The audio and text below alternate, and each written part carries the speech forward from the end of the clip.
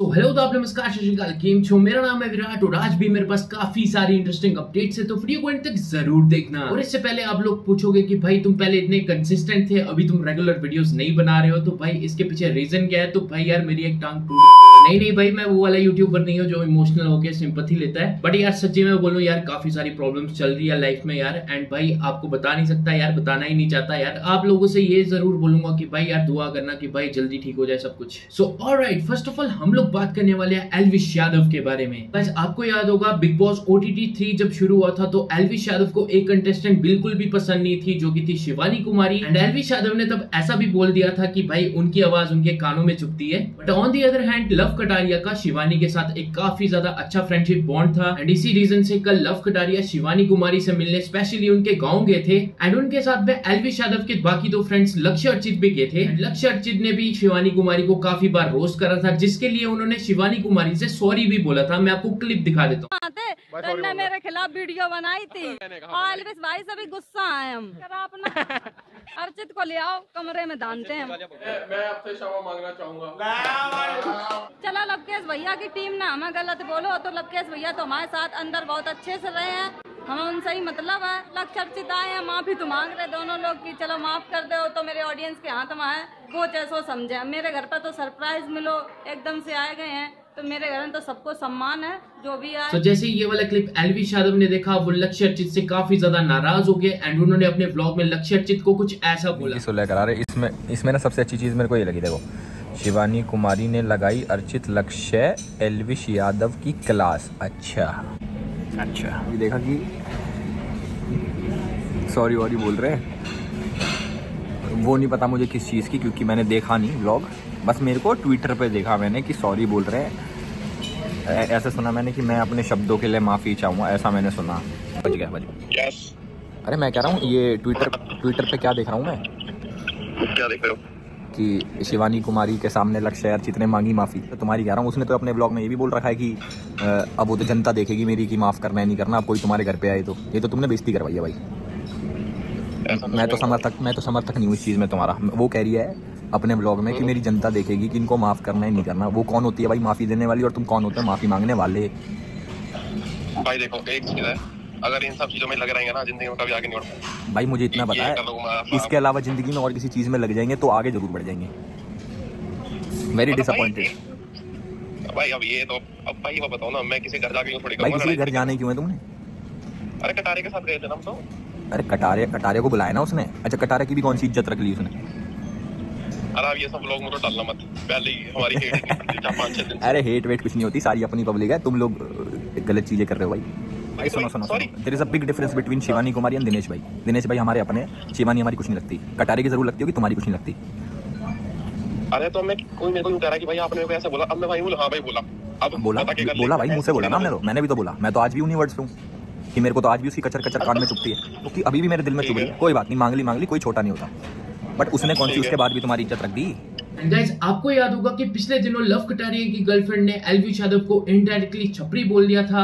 And Elvish Yadav ने अपने आज वाले व्लॉग में उस पर इनडायरेक्टली रिएक्ट करते हुए कुछ ऐसा बोला। जय भी तो देखा मैंने। वीडियो कॉल पे देखा मैंने तो। वो इकट्ठी स्क्रीन पे देखा होगा।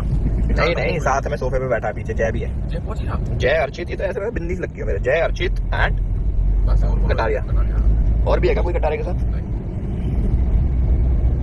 कोई और भी हो, क्या पता भाई आई डोंट नो तो उसको भी मिल लेंगे, जो भी है साथ में ना, सब लोगों से मिल लेंगे जाके।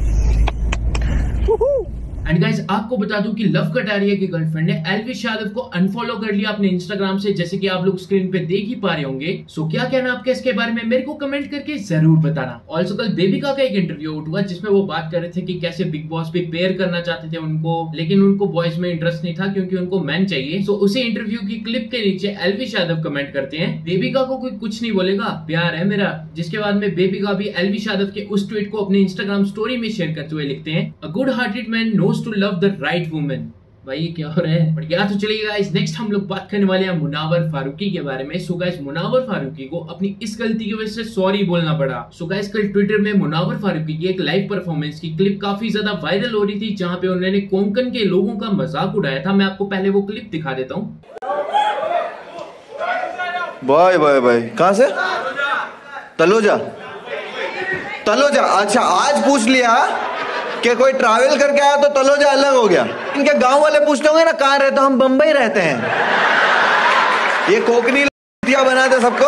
गाइस इसके बाद में मुनावर फारूकी की साइड से एक वीडियो उठी हुई जहाँ पे उन्होंने कोंकण के लोगों से सॉरी बोला। मैं आपको वो क्लिप दिखा देता हूँ। शो हुआ था और जिसमें जोक भी नहीं कहेंगे क्राउड वर्क हो रहा था ऑडियंस से इंटरेक्शन हो रहा था। एंड उसके चलते अ, कोकन के बारे में कुछ बात निकली। और मुझे पता था कि तलोजा में बहुत कोकनी लोग रहते बिकॉज़ मेरे बहुत सारे फ्रेंड्स हैं। लेकिन उसको थोड़ा आउट ऑफ़ कॉन्टेक्स्ट गया है वो चीज़ और लोगों के लिए कि उनको लगता है कि मैंने कोकन के बारे में कुछ बुरा बोला है कि अ, मैंने कोकन का मज़ाक उड़ाया तो नहीं दोस्तों अ, मेरा इंटेंशन बिल्कुल वो नहीं है। मैं अभी भी वही कहना चाहूँगा कि मेरा अ, जो वो इम्प्रोव था वो क्राउड वर्क था उसमें कॉन्वर्जेशन में ही वो चीज़ मेरे मुँह से निकली। लेकिन अ, मैंने अभी देखा कि कुछ लोग हर्ट हो रहा है। और मैं as a stand up comedian और जो मेरा काम है हंसाने का मैं नहीं चाहता कोई भी हर्ट हो। और मैं बिल्कुल नहीं चाहूँगा कि कोई अ, किसी भी एंगल से हर्ट हो। तो मैं तय दिल से अ, आप लोगों से माफ़ी मांगना चाहूँगा। या तो चलिए गाइस नेक्स्ट हम लोग बात करने वाले हैं एक उबर ड्राइवर के बारे में जिसको काफ़ी सारे लोग अप्रिशिएट कर रहे हैं। सो गाइस दिल्ली से ये स्टोरी आ रहा है जहाँ पे एक उबर ड्राइवर की कैब में कुछ पाकिस्तानी लड़कियाँ बैठी थी एंड वो इंडियंस को सेल्फिश बोलने लगी।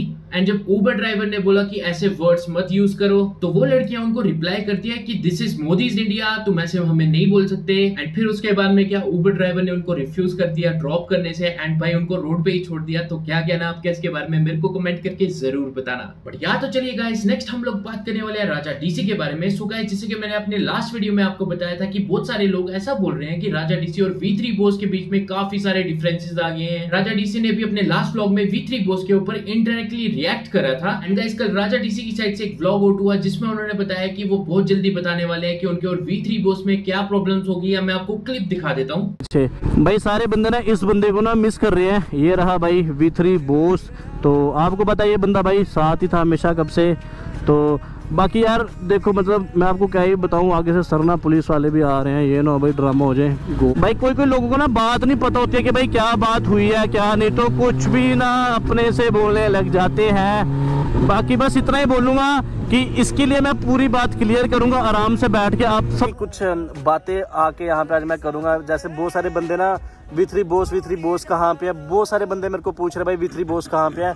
तो मैंने इसलिए सोचा कि भाई आपको मैं बता देता हूँ कि भाई क्या सीन हो रखा है। बट अब काफ़ी लंबा व्लॉग हो गया तो नेक्स्ट व्लॉग में मैं आपको पूरा बता दूँगा कि वी थ्री बोस कहाँ पे है क्यों व्लॉग में नहीं आ रहे हैं। क्योंकि मैंने आपको ये चीज़ पहले भी बोली कि ये जो रोड है ना मेरे लिए चंडीगढ़ का एयरपोर्ट रोड इस रो, इस रोड पे ना भाई मेरी बहुत ज़्यादा मेमोरीज जुड़ी हुई हैं। वनीत भाई प्रेरणा दी पारुल शफकत रईस मैं हमारा ना ग्रुप होता था एक यहाँ पे। अब रोड तो यहीं पे रह गया दोस्त नहीं रह गए हैं। बस ये है नहीं सच बोलना।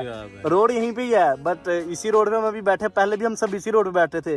अब रोड तो यहीं पे है बट वो जो बहुत सारे बंदे होते थे ना वो साथ में बस यही चीज़ बोलूँगा कि भाई लाइफ में जिनके भी अच्छे अच्छे दोस्त है भाई सब मिलजुल के रहा करो अच्छे से रहो। या तो चलिए गाइस नेक्स्ट हम लोग बात करने वाले जानू स्टंट्स के बारे में। सो गाइस आप सबको याद होगा कि जानू स्टंट्स ने पिछले दिनों बताया था कि उनकी मदर के साथ एक अनसर्टेन इंसिडेंट हो गया है जिसमें उनके मदर स्टेट से नीचे गिर गए थे। तो कल व्लॉग्स बाय सुमित की साइड से एक वीडियो आउट हुआ जिसमें उनकी मदर ने बताया कि जानू स्टंट्स का क्या रिएक्शन था जब उन्होंने देखा कि उनकी मदर नीचे गिरे हैं। मैं आपको क्लिप दिखा देता हूँ। जब आपको लगी थी तो जानू उस टाइम काफ़ी ज़्यादा अपसेट था। बहुत ज़्यादा टेंशन में था वो मैंने देखा था जब मैं आया था तो अब वो थोड़ा बेटर फील कर रहा है थोड़ा मतलब रिलैक्स है कि उसको पता लग गया ठीक हुआ।